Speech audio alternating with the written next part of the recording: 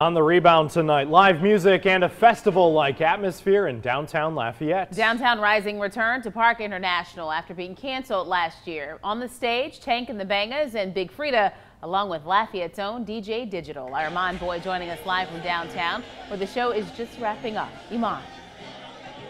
Hey, Jim Marcel, concert goers have been nonstop since the doors opened here in Parc International. Now they're moving the party at Legends. You can probably hear the music behind me, but many of them really excited that they can enjoy live music once again.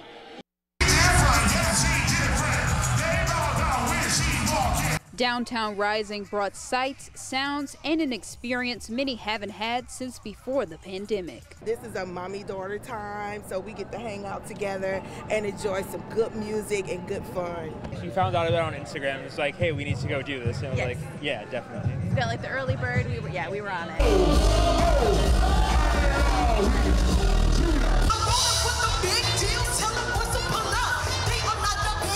The music and dancing even brought in visitors from out of the state.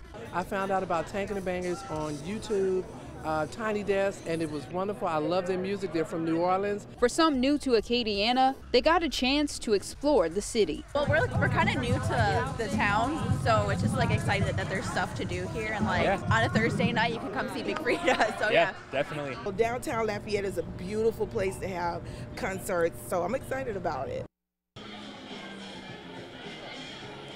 The show is officially wrapped up here in downtown Lafayette, but they will be returning June 2022. Live in Lafayette, Iman Boy, KATC TV.